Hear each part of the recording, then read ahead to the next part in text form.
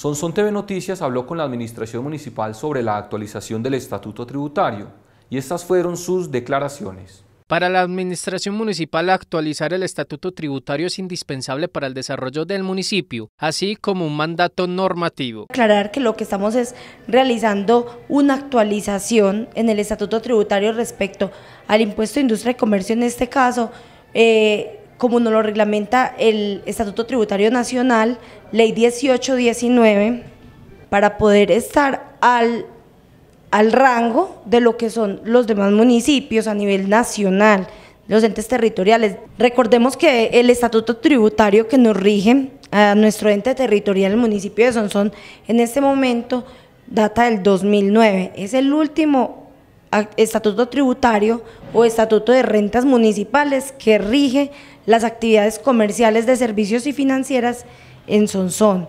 Quiero aclarar que no es en la mayoría de las actividades que se está incrementando eh, este, este impuesto.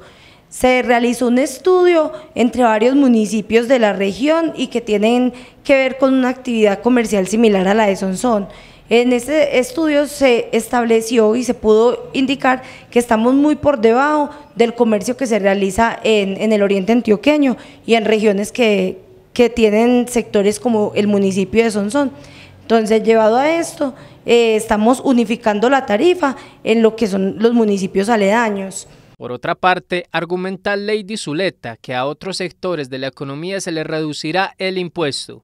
En sectores tales como comercio al por menor de ferreterías, eh, almacenes, de almacenes pues como tal y eh, ventas de electrodomésticos que nos estaban tributando en el 10 por mil, en este momento bajan en dos puntos al 8 por mil, también establecido dentro de qué? Dentro de un estudio de mercado que se realizó en municipios aledaños como lo he estado repitiendo Adicionalmente, dentro de la administración municipal eh, se estableció eh, para este proyecto de acuerdo un descuento especial para los contribuyentes que tuviesen afectación durante esta vigencia eh, de la pandemia.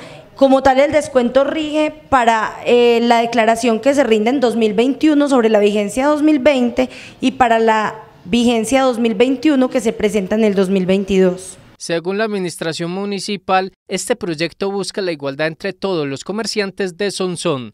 La administración municipal nunca ha tendido a perjudicar a los comerciantes.